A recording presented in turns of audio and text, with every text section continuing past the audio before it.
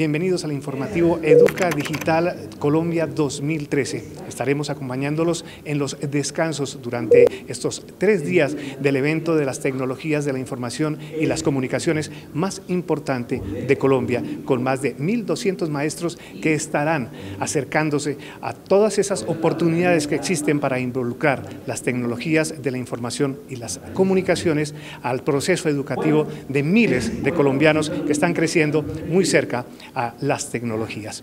Y uno de los eh, aspectos más importantes que tiene este evento en 2013 es justamente el acercarse a nuevas tecnologías, concretamente a las tabletas. Los maestros tienen la expectativa de que pronto lleguen las tabletas a sus colegios. Profesora, ¿de dónde viene? ¿Cuál es su nombre? ¿Y cuál es esa expectativa de que lleguen pronto las tabletas? Mi nombre es Alba Sujejo y Duarte, vengo de la ciudad de Barranca Bermeja, Santander, de la institución educativa Camilo Torres Restrepo. Pues la verdad es que a nuestro colegio no han llegado hasta el momento las tabletas con mucha expectativa de que nuestros chicos inicien en ese proceso de la incorporación de las nuevas tecnologías como lo es las tabletas eh, digitales. Porque ya ha habido bastantes experiencias en otros centros educativos en donde definitivamente está comprobado el éxito, ¿no? Sí, realmente sí. Pues nosotros lo que hemos usado hasta el momento son los, los computadores, eh, los portátiles, pero ya los chicos, como han escuchado a través de las noticias, de que Computadores para Educar y el Ministerio de las TIC va a donar tabletas y para ellos pues es el boom, eh, teniendo en cuenta que nuestro colegio está en una zona pues, de muy bajos recursos los estudiantes, entonces para ellos va a ser algo muy novedoso algo muy novedoso que ya ha tenido experiencias exitosas como por ejemplo en Puerto Colombia en el departamento del Atlántico. Para contagiar con alegría llegaron las tabletas a Puerto Colombia, otrora principal puerto marítimo sobre el Caribe colombiano. Bueno jóvenes, vamos a trabajar con las tablets. Los software que traen las, las, eh, las tablets le brindan mayor facilidad al estudiante para tratar la geometría. Y ahora sí, dibujen un triángulo. Okay, but try again, it doesn't matter, you can try many times. Con el uso de las tablets eh, mejoramos los tiempos para la pronunciación. A la final creo que lo que estamos más contentos somos nosotros los profesores con la llegada de esta tan importante herramienta como las tablets, que nos van a acercar más al conocimiento y nos van a hacer innovar más. Miremos aquí qué hay de particular. Ellos eh, escriben artículos de opinión, noticias. Eso periódicamente se publica en el periódico virtual. Las tablets integran todo lo que hoy en día uno quiere eh, tener en, un aula eh, a nivel multimedial, a nivel de conectividad, a nivel de recursos webs.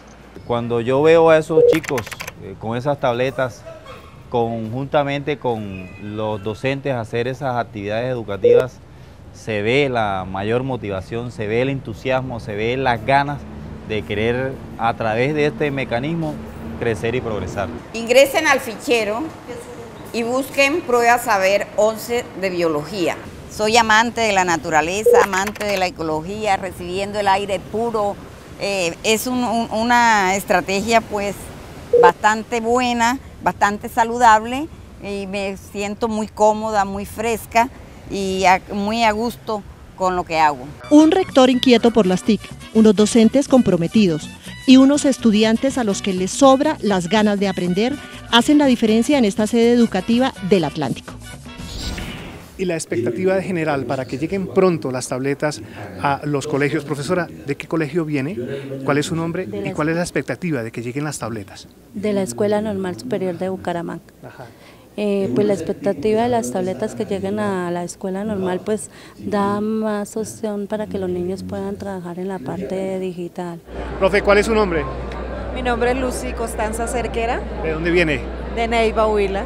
Bueno, ¿cómo ha sido ese cambio de las tabletas versus lo que pasaba antes con los ordenadores? Bueno, pues es un cambio trascendental porque los estudiantes hoy en día tienen mucho más acceso a la información eh, empezando por porque es mucho más manejable. Es un elemento que, que, ha llegado mucho más al estudiante por, porque sus capacidades frente al computador, pues obvio, las han desarrollado. Y con la tablet pareciera que hubieran nacido con ella. Profesora, muchas gracias. Profesora, su nombre, su colegio. Claudia Ramírez, Institución Educativa John F. Kennedy de Popayán. ¿Cómo ha sido esa adaptación de las tabletas? ¿Se ve el progreso en los niños? Sí, ahorita están muy emocionados, pero estamos haciendo todas las instalaciones necesarias.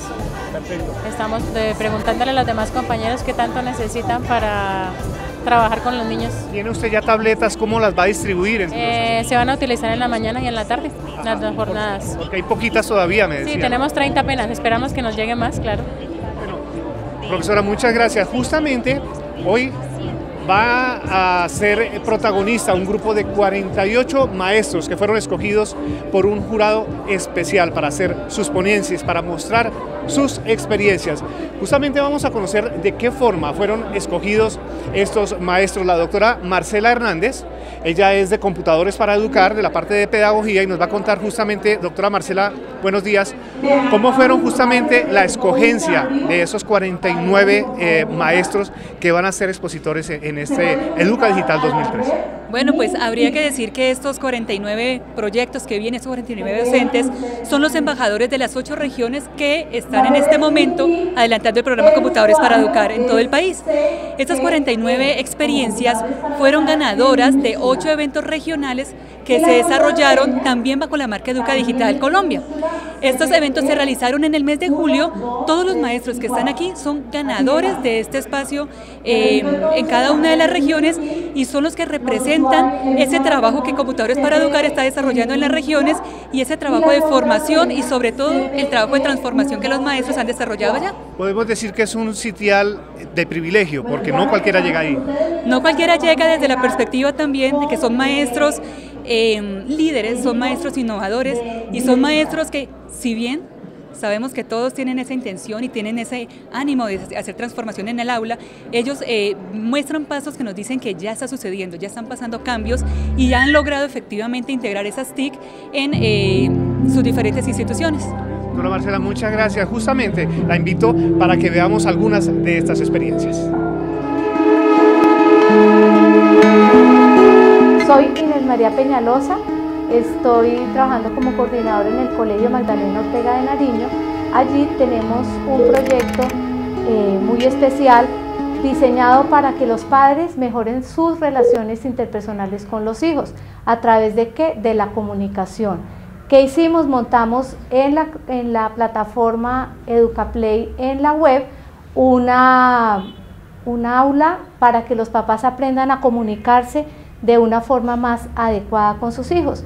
Están todos invitados a vincularse a este proyecto y a ingresar a la plataforma para que también hagan parte de este proceso, aprender a comunicarse para ser feliz. Ya cuando los eh, pasa algo con mis hijos, ya pienso antes de actuar y, mantengo mucho diálogo con ellos y, y llevamos una vida más, más feliz. Nombre es Jorge Hernán Rojas Ortúas de la institución educativa Cristóbal Colón del municipio de Trujillo, Valle del Cauca. El proyecto que estamos exponiendo se llama Mis Estados. El objetivo de este proyecto es básicamente la articulación de las TICs en la área de ciencias naturales con las otras áreas del conocimiento.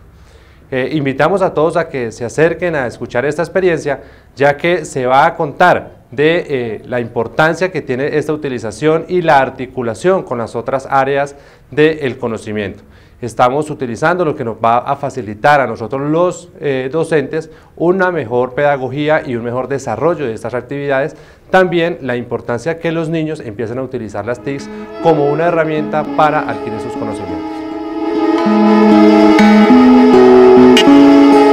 Bueno, mi nombre es Emelina de Laos Arista, docente de la institución Sevillano C de La Maya.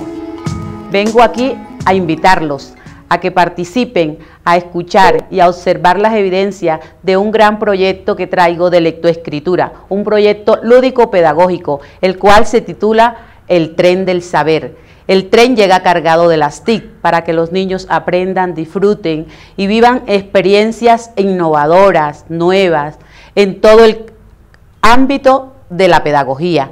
Hemos cambiado nuestra manera de enseñar, gracias a las TIC, gracias a, computadores para educar. Estamos aquí para hacer una transformación en lo que es enseñar y aprender. Retomo, otra vez retomo. Esto lo hemos logrado a través de la elaboración de un tren, el cual llega a cada aula de clase cargado con mucho material didáctico, lleno de computadores, de revistas, de lúdica, para que el niño, el día que el tren llega al aula de clase, a su salón, viva una experiencia de alegría, de gozo, porque él va a aprender y a disfrutar haciendo uso de toda esa tecnología. El Hotel Crown Plaza Tequendama es nuevamente escenario de este Educa Digital Colombia 2013 y será testigo de cómo los maestros han incluido las tecnologías de la información y las comunicaciones en sus procesos educativos. Doctor Marlio Sierra, recomendaciones para los 1.200 eh, maestros que van a estar durante estos eh, próximos días para moverse en el hotel. Bueno, un cordial saludo para todos nuestros participantes a Educa Digital 2013. Eh, la principal recomendación que le hacemos a todos nuestros participantes es siempre portar su acreditación, siempre portar su carnet que los identifica como participantes, oponentes o conferencistas en el marco de este evento internacional y nacional de eh, proyectos educativos y de experiencias significativas en materia de TIC y educación. Hay una recomendación que nos piden que hagamos, por favor, y es cómo llegar al piso 17. Salimos del Salón Rojo del Hotel Tequendama y es muy fácil, ¿no? Sí, simplemente salen, afortunadamente el hotel cuenta con varias salidas, pero la principal o la recomendación que nosotros le hacemos a nuestros profesores participantes es que cojan el ascensor que queda bajando del el bar eh, Chispas del Hotel Tequendama o a la, ala derecha del lobby como tal. y nos, estamos yendo allá, ¿no? Estamos yendo para allá y efectivamente ahí está donde dice ascensor directo. Ascensor directo, Salón Monserrate y Salón Guadalupe, que son los dos salones del piso 17, el último piso para que pueda mucho más fácil el acceso a esos lugares. Nos preguntaban si la movilización nacional de protesta interfirió de alguna forma eh, Educa Digital 2013 y cómo lo han solventado? Eh, afortunadamente los profesores muy proactivos y digamos enamorados de este tema de TIC y educación han hecho un esfuerzo muy valioso y hay que calificarlo como loable. Tenemos en este momento más de 900 participantes, de los 1.200 están llegando en este momento otros docentes. Eh, la participación de ellos pues, ha sido, digamos, muy importante. La colaboración de nuestras universidades han ayudado a que también pues, efectivamente la movilidad de estos profesores eh, sea mucho más fácil. De igual manera, la participación de, de los miembros de la fuerza pública que han facilitado el acceso y la movilidad por las carreteras del país para que nuestros profesores tengan la oportunidad de estar en este evento nacional. Y justamente son 10 los salones que están dispuestos para estos talleres simultáneos. En el piso 1, el Esmeralda 1 con tabletas para educar, Esmeralda 2, virtualización de contenidos didácticos, el Bolívar 1 en la planta baja, competencias TIC para el desarrollo profesional docente, también el Rojo Británico con Bootcamps, una alternativa para aprender haciendo, el Rojo Naciones con contenidos educativos digitales y el Rojo Bogotá igualmente en el piso 1 con Construyendo Mundos Virtuales con Robotic y Codu. Luego pasamos al Bolívar 2 y 3, que es en el piso bajo con Academia Express de redes sociales. Luego tenemos el Salón Golfistas 1, que está dispuesto para reuniones eventuales. Y subimos al piso 17 con Robótica Educativa Ambiental en el Salón Monserrate y en el Salón Guadalupe con Edera 2.0, Innovación con Robótica Educativa Ambiental. Entonces es muy fácil para llegar al piso 17, salen del Salón Rojo, este pasillo y allí encontramos el ascensor que lo llevará directamente al piso 17 a encontrarse con experiencias de estos 49 maestros que fueron seleccionados especialmente. Vamos a conocer algunos de ellos. Hola, mi nombre es Daniel Zapata, soy docente de básica primaria en el Centro Educativo Rural La Planta del municipio de Santa Rosa de Osos, Antioquia y vengo a Educa Digital a socializarles una experiencia eh, muy bonita sobre un proyecto de aula que lleva por nombre Digestic, el cual aborda el concepto de modelo teórico en la enseñanza de la ciencia, de un concepto muy bonito eh, que se refiere al sistema digestivo y la digestión en los seres humanos. Mi nombre es Mary Usta Díaz, Vengo de la institución educativa Los Persona, zona rural del municipio de Montería, del departamento de Córdoba. En la tarde de hoy los quiero invitar para que escuchen las ponencias Las R de las TIC en la institución educativa de los Garzones. ¿Qué quiere decir la CR de las TIC? Quiere decir reducir, reciclar y reutilizar, transformar toda esa basura tecnológica para el cuidado del medio ambiente. Es un proyecto muy importante porque los estudiantes, esa basura que ya en todos los colegios botan, esos computadores viejos, esos televisores viejos, eh, los celulares viejos, todo lo que ya no sirve en la casa de los, de los, chicos y lo que no sirve en el colegio, acá lo reutilizamos para hacer objetos novedosos, innovadores, creativos. Y los chicos ya se están volviendo unos expertos en robótica, porque ellos trabajan con todo este rebuso, con toda esta basura, trabajan proyectos de robótica. Eh, sería muy importante que fueran a verlo, para que vieran ustedes todo lo que podemos hacer con esa basura tecnológica, todo lo que nosotros podemos transformar y cuidar el medio ambiente, porque la basura tecnológica tiene mucha contaminación y si no la sabemos tratar, si no la sabemos eh, eh, reutilizar, estamos contaminando el medio ambiente y es muy perjudicial para la salud humana. Nombre es Roxana Luna, vengo del municipio de Bolívar, departamento del Cauca. Yo trabajo en una escuela rural mixta llamada Tachuelo del Cajón a dos horas y media a pie desde la carretera principal. Con mis estudiantes vimos la necesidad de vincular las TIC en un proyecto que ya venía caminando que se trataba de recolectar muchos implementos que normalmente nosotros botamos a la basura como bolsas plásticas, CDs utilizados, las cintas de los cassettes, eh, en general muchas cosas que botábamos normalmente. Entonces, ¿qué hicimos? Transformamos todos esos materiales en artesanías. ¿Cómo, cómo vinculamos nosotros las TIC a este proyecto? Fue muy muy innovador y fue muy enriquecedor poder traer los computadores a esta localidad porque en la actualidad no hay energía eléctrica. Entonces, al llegar los computadores y poder transformar el aula que normalmente estaba el profesor adelante y los estudiantes escuchaban, poder transformar eso en que los estudiantes fueran como los actores de su propia educación fue genial. Los chicos juegan en el computador, la pasan rico, están aprendiendo y cuando les hago evaluación ellos ni siquiera se están dando cuenta de que los, eh, los estoy evaluando porque al, al igual están jugando. Los invito realmente a mirar este proyecto, es fantástico, es rico y hemos obtenido muchísimas cosas. Otro de los lugares con importancia para los docentes en este Educa Digital 2013 es el lobby del Hotel Crown Plaza Tequindama, en donde podrán tener información de varias instituciones como por ejemplo el Ministerio de las TIC.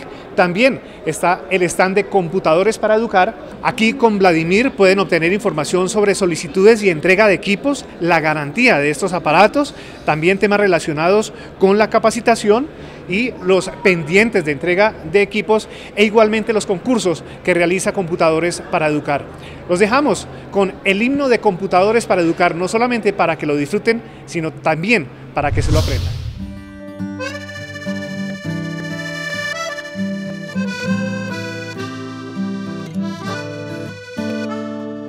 Quiero ser el futuro de Colombia Quiero enseñar, quiero aprender, quiero reír.